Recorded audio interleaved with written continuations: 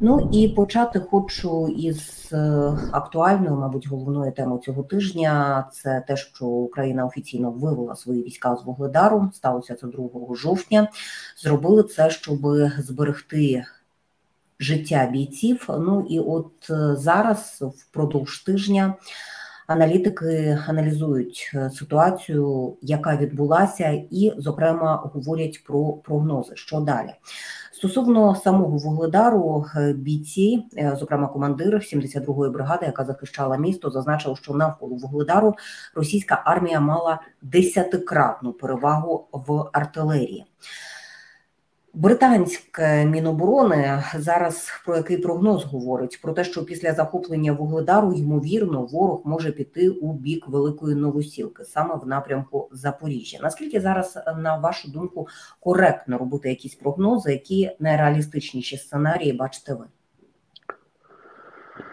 Ну, на рахунок того, що перевагу на вугледару Покровському напрямку ворог мав 10 стволів чи 10 пострілів вірніше до одного. Ще говорив десь і місяць тому Сирський, казав, що завдання вирівняти е, було поставлено і перед ним особисто, тобто сам і перед військами. Ну, на жаль, ми бачили, що різкої зміни за наявних сил і засобів не вдалося досягти, скажімо, як на інших напрямках, коли українська армія зуміла вийти на один до двох пострілів, тобто один український на два російські, тобто майже паритет. Але оскільки Покровський напрямок був політичним для Росії і е, атаки на цьому напрямку, вони абсолютно, скажімо, по кількості що особовому складу, що по застосуванні зброї. Е, виходили за якісь абсолютно адекватні розумні межі, чи це призводило в свою чергу й до величезних втрат, а з другої сторони, безперервне підтягування такої надлишкової техніки і особового складу й дало можливість їм е, зайти в вугледар. Річ в тому, що е, як, як оцінюються успіхи в російській армії. Якщо є команда зайняти позицію, вона зайнята, значить це позитивний е, позитивно проведена військова операція. Скільки під це втрачено особового складу техніки, абсолютно не рахується. Тобто вважається досягнута ціль позитивним фактором і е, удалою тактикою чи стратегією. У нас це не працює. У нас все таки питання збереження і техніки, і особового складу стоїть набагато вище, е, скажімо, аніж досягнення цілей, оскільки у нас є дуже обмежені ресурси, тоді як в Росії вони безмежні і абсолютно, скажімо, навіть оперативного рівня. Я вже не кажу про тактичний рівня завдання, абсолютно в них не вимірюються втратами, а досягненнями. Це ми спостерігали неодноразово і будемо спостерігати надалі.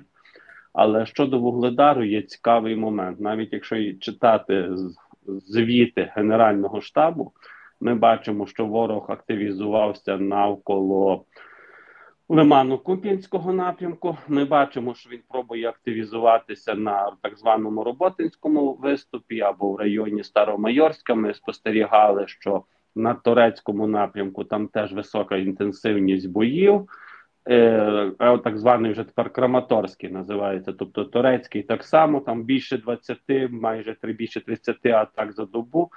Тоді як в районі Вугледару, тобто е, напрямок, е, ну, колишній Вугледарський напрямок, а тепер Времівський, то там буквально 3-5. Тобто, все-таки розуміємо, ворог на даному етапі закріпляється в Вугледарі. Ворог не настільки інтенсивно впевнений, що готовий. Е, е, просуватися з Вугледару в атаку в район там тої ж самої Боголюбівки. Річ в тому, що величезні втрати, і дійсно потрібно накопичити сили. Знаємо, що дві бригади росіяни з цього напрямку вивели на відновлення. Вони відводять бригади на відновлення, коли більше втрат 50%. Крім того, місто шалено зруйноване і.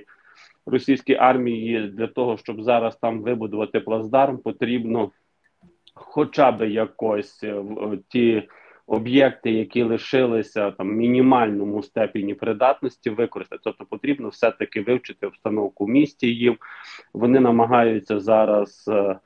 Е, знайти е, об'єкти, де можна затягати яку якусь техніку, як е, як резервну, чи де там розташовувати боєкомплект для того, щоб формувати якийсь плацдарм. Ну і окрім того, насправді вугледарський напрямок зараз е, для них має значення, але, скажімо, не оперативного рівня, оскільки для них зараз надзвичайно важливо зайти в Селідово і е, в Курахове, оскільки ці два населені пункти, які і територіально, і за кількістю населення насправді більші аніж Вугледар, так насправді більші, бо Вугледар до широкомасштабного вторгнення мав біля 15 там 17 тисяч населення. Тоді як Селідово 25, Курахове десь приблизно так само, а Покровську взагалі більше 60 тисяч. Тобто це великі населені пункти.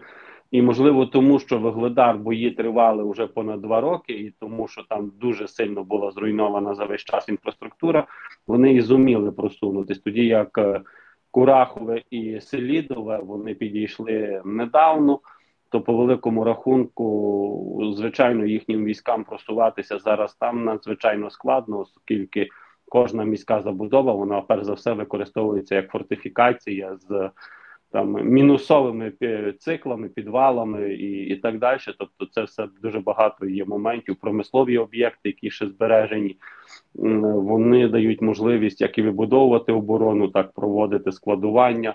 Е, заховати техніку, особовий склад розміщати. Тобто, це ще для ворога дуже багато роботи, щоб досягати на цьому напрямку успіху. Тим паче, Курахове для них ще важливе, тому що поруч Курахівське водосховище, тобто вода для населених пунктів в найближчих регіонах.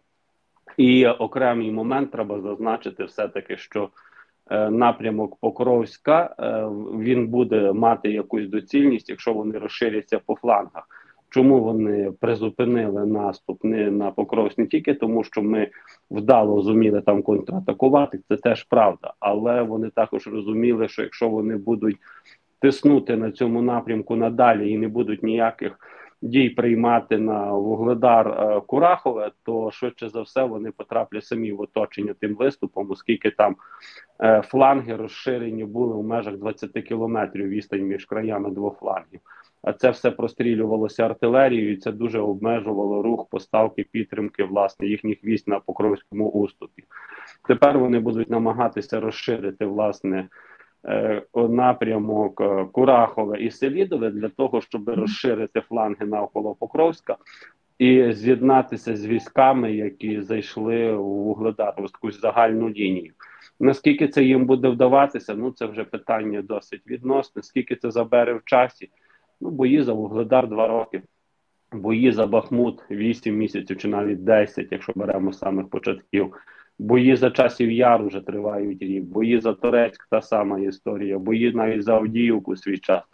Це ж теж були на роки, все розтягалося. Тобто казати, що російська армія настільки зараз могутня і концентрована, що вона там рівня районні центри може займати в короткостроковій перспективі, ні.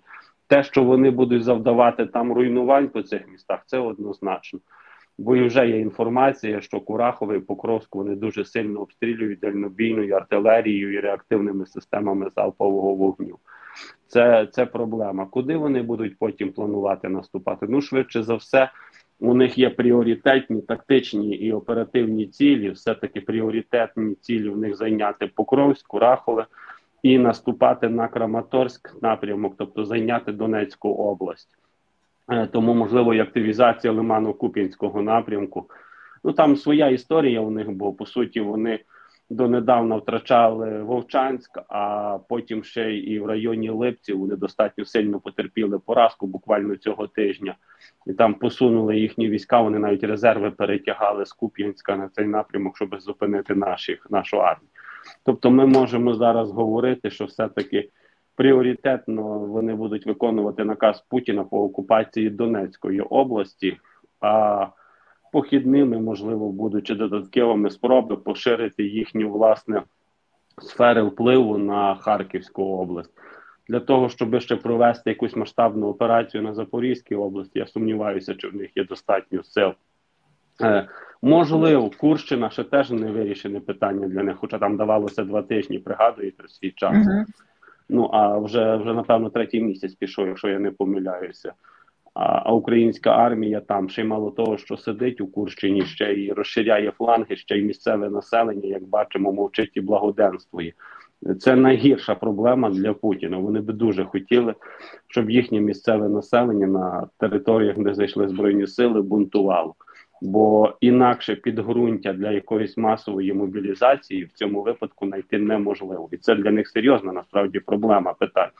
Все таки вони сподівалися, що ми будемо робити якісь там бучі, ірпіні, і, і це дасть можливість консолідувати суспільство. Але насправді це призвело до, до розколу їхнього суспільства. Ми це вже напевно всі неодноразово обговорювали. Що вони замість того, щоб консолідовуватись, підтримувати одні одних, почали сваритися, хто тікає, хто не тікає, чому ті не воюють з українцями, а ті, чому не допомагають їм воювати з українцями. Ну така і це дуже добре. Це між іншим показник того, як буде реагувати російське населення, якщо, скажімо, Росія е, втратить потенціал для наступу і буде відступати. Між іншим, це одна з причин, чому Путін намагається не збавляти інтенсивність наступальних дій. Це те, що теж я завжди казав. Для Путіна зупинка його військ по лінії фронту рівнозначна поразці. Тоді зразу виникатимуть питання: для чого такі втрати і ресурс, якщо російська армія не виграє і не просувається. Тому вони так і просування навколо якогось маленького села на три хати подають цю інформацію, начебто я не знаю, як Наполеон зайняв єгипетські піраміди, тобто максимально намагають прив'язати е, до цього інформаційну кампанію як успіхи оперативно там стратегічного рівня, хоча інколи за назвою населеного пункту насправді це. Просто три хати на карті. Хоча і для нас три, три хати на карті це все таки своя територія, свої громадяни. Там хтось жив, там хтось будував якісь плани, на щось сподівався. А Кацап прийшов і і зруйнував все. Тому, е, якщо відкинути вже знаєте, такі чисто е, цивільні чи е, громадські е, психологічні аспекти, тут е, то маємо розуміти, що насправді путінські війська атакують не тому, що вони настільки сильні і спроможні, тому що це питання їхнього виживання. Ну але все одно на піку можливостей в даному етапі навряд чи вони зможуть довго власне тиснути навіть на Покровському напрямку. Все одно їм прийдеться або перекидати звідкись резерви ресурси, або на Курську область їм прийдеться перекрити строковиками. Можливо, тому от така і команда в них пішла жорстка, що тих 140 тисяч строковиків призвати. І оце намагання розширити саму армію додатковим особовим складом. Ну ж розуміємо, що там теж багато моментів. Це і націоналізація їхніх об'єктів е, по мобілізації призиву е, паралельно з робітниками. І друге, що все-таки при технічних втратах вони мусять розширяти компоненту особового складу піхотний піхотного рівня. Тому це нас чекає ще дуже складний період. Це факт.